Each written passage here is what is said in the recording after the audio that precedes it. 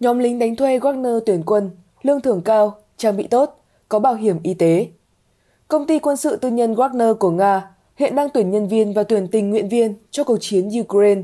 Những bức thư quảng cáo tuyển dụng cũng được gửi đến các đối tượng phù hợp dưới dạng thư trực tiếp. Trong một bức thư ngỏ, nhóm lính đánh thuê tư nhân Wagner của Nga quảng cáo rằng các tình nguyện viên sẽ triển khai trong khu vực chiến tranh với mức lương hàng tháng là 240.000 rup, tương đương khoảng 2.700 euro.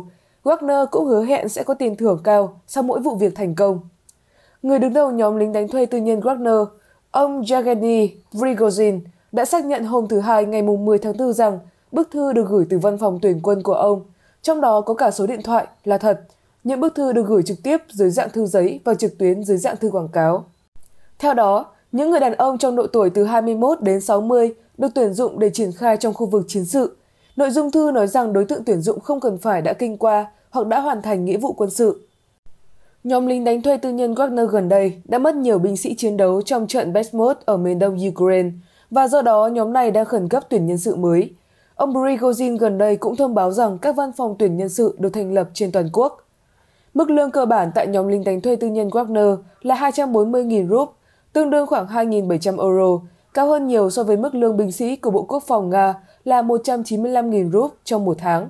Ở cấp sĩ quan chỉ huy là 243.000 rup, dù nó cao gấp vài lần mức lương trung bình của dân Nga.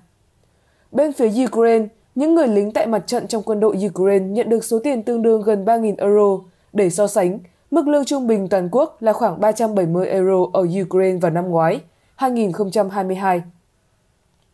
Nhóm lính đánh thuê tư nhân Wagner còn hứa hẹn với các tình nguyện viên của mình rằng sẽ được trang bị đồng phục chiến đấu hiện đại, thiết bị và vũ khí tốt nhất, cũng như bảo hiểm sức khỏe và bảo hiểm nhân thọ, được đào tạo bởi những người hướng dẫn có trình độ cao.